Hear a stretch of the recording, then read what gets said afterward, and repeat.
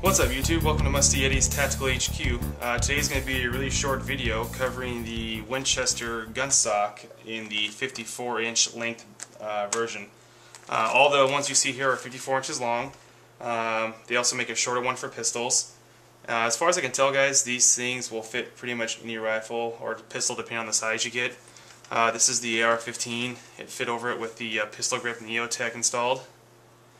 And more impressive is the uh, Remington 597, the 22 rifle, it fit over with the scope and the vertical grip that I had installed.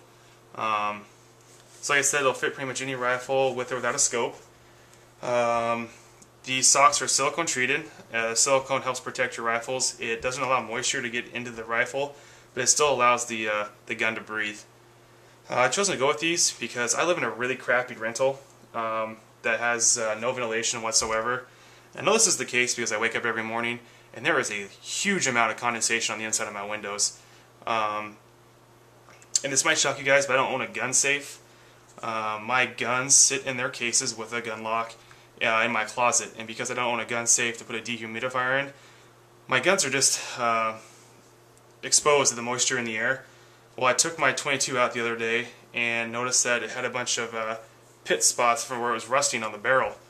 So I immediately cleaned this thing and I ran down to the store and picked up uh, four of these gun socks. Um, they're cheap, they're like $5. Uh, they're easy to put on and so far I can tell you that they've worked pretty well. Uh, since I put it on my 22, it's been quite a while now. I haven't seen any rust form on the, uh, the barrel. Um, I wouldn't do what I did and wait till you see the rust and it's a nice preventative measure. Like I didn't mess around as soon as I saw the rust on my uh, 22, I covered the AR immediately. Uh, these are expensive guns, guys, and it's smart to do things to help protect them from uh, being damaged from rust. So uh, that's just a little quick review there. Uh, if you guys have any questions on the gun socks, uh, let me know. Thanks for watching, guys. Hope to see you soon.